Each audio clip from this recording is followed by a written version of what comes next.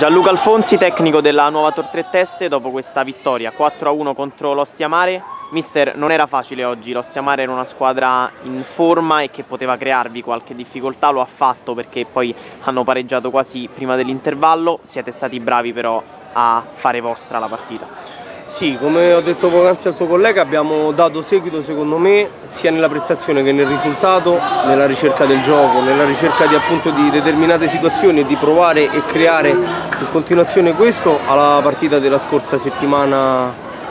con il Tour di Quinto. È una gara che ecco, a parte l'episodio come hai detto tu del gol venuto da una palla inattiva che sul, dal punto di vista del risultato e poi conseguenzialmente dal punto di vista mentale poteva creare qualche piccolo scompenso è stata una gara secondo me quasi sempre, pressoché sempre appunto in pieno, in pieno controllo. Siamo stati bravi a, a riprenderci subito eh, dalla parte nostra il risultato, abbiamo sbagliato secondo me qualche situazione di troppo che poteva rendere la partita un po' più agevole, magari un po' prima no? a livello temporale, dove poi magari si è appianata 3-1, 4-1 nei minuti finali, però sono soddisfatto, eh,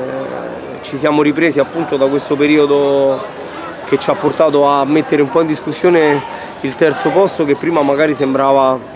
un qualcosa di scontato. Però come dico ai ragazzi adesso ci aspettavano sette finali con la partita del Tor di Quinto che abbiamo passato, questa 6, ne mancano altre 5 ci andiamo a prendere quello che è il nostro e poi le squadre servono in forma a maggio e quindi...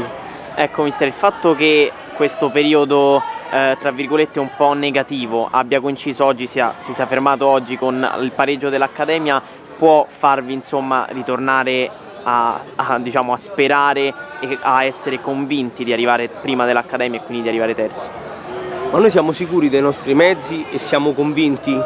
perché ci siamo guardati, ci siamo confrontati negli spogliatoi e siamo convinti che ce la faremo ad arrivare terzi. È normale che poi nel testa a testa siamo contenti per il pareggio del, dell'Accademia perché magari ci dà ecco, un piccolo break no, di vantaggio